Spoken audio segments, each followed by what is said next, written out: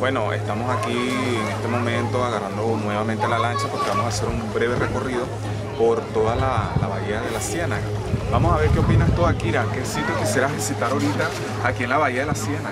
Bueno, me gustaría ver los delfines, me encantaría ver la estrella de mar y últimamente empañarme en lodo.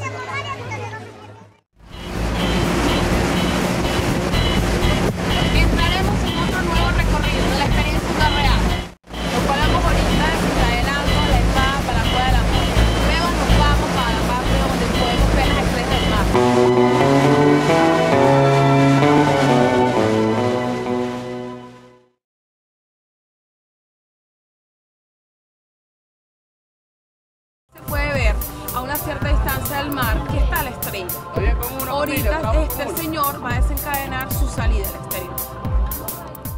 Aquí el amigo, ¿cómo se llama usted?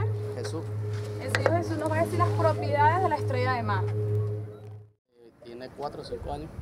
Se desprende un testáculo de ella, que de aquí. Ella puede que salga a la superficie o siempre se tiene que mantener a nivel del mar. Si la, si la sacamos, se puede morir. Pero eso simplemente es unos segundos que tiene rápido que todo el mundo no lo puede hacer. Si no la sabe maniobrar bien, ella se puede morir porque el agua es oxígeno. Entonces la saco y el agua que bota, que es esto, después queda con aire. Y se ¿Y puede- por cuántos minutos o por cuántos segundos, mejor No, yo lo dicho? utilizo más de un segundo. Perfecto. Por lo menos tiene la cámara lista para tomar la foto. Se la muestro, la tomo la foto y la saco y la vuelvo. Ajá. ¿Y, qué efecto negativo tiene la estrella de mar sobre nosotros? ¿Qué efecto negativo? Eh, ejemplo, quemaduras, raspaduras, Mm, no. mordeduras. no te hace daño en nada, en ningún sentido.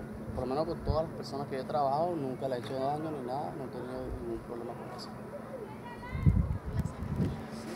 Y a medida que ya se va arrastrando, ella va comiendo. Mira aquí donde yo la agarré ahorita estaba comiendo. Mira lo espectacular, mira cómo lo saco. Ah, sí.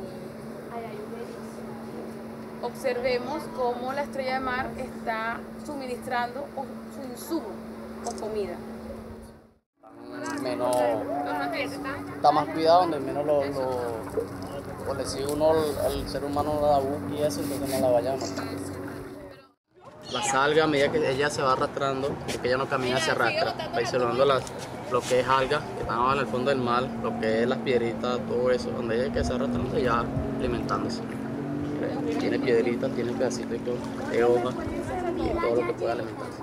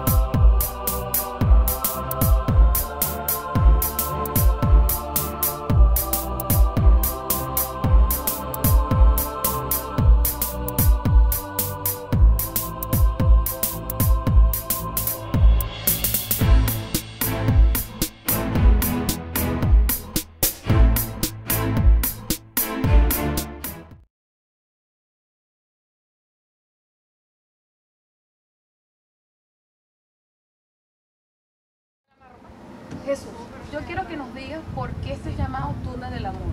Esto se llama el túnel del amor porque nosotros tenemos uno de los, uno de los- nosotros los pescadores mayores que nosotros, así una, una historia que nos cuenta a nosotros que vinieron uno de ellos con una pared y estuvieron aquí. Entonces desde ahí se llama esto la pues, túnel del amor. ¿Qué fue esto anteriormente? ¿Una isla? Esto es una, eh, una isla, pero eso se llama una almacenada. Perfecto. donde se reproducen los peces, donde hay langostas, ostras, esas. ¿Sabes cuál es eso? Eso, todo eso aquí. Ahora tengo otra pregunta. Ajá. Aparte de este lugar, ¿no hay otro ¿verdad? que sea equitativo o equidistante a este lugar? El que está de aquel lado, pero es el mismo. Esto antes daba el paseo era más súper largo y a medida que va creciendo el manglar, va a ser cerró todo el camino. Uno era, o sea, Ajá. el- la playa o el mar no ha bajado. está abajo. Mira la altura donde está ahí mismo lo dice. ¿Y qué es lo más alto que ha podido llegar?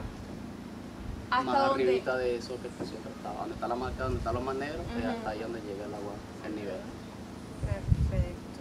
¿Y desde cuándo esto se pudo, como se dice, originar? Esto es siglos. Tiene siglos. Más o menos cuánto es el siglo. No sé decirte porque yo ahorita soy uno de las generaciones que Más- más joven. Más joven, exacto. Perfecto. Bueno, pudimos ver un relato, ¿verdad? Consecutivo aparte de las otras que nos dijo Jesús y más sobre este lugar que podríamos decir que es paradisíaco. Gracias. Y los cinco tipos de manglares que existen en toda Venezuela están aquí en la ciénaga.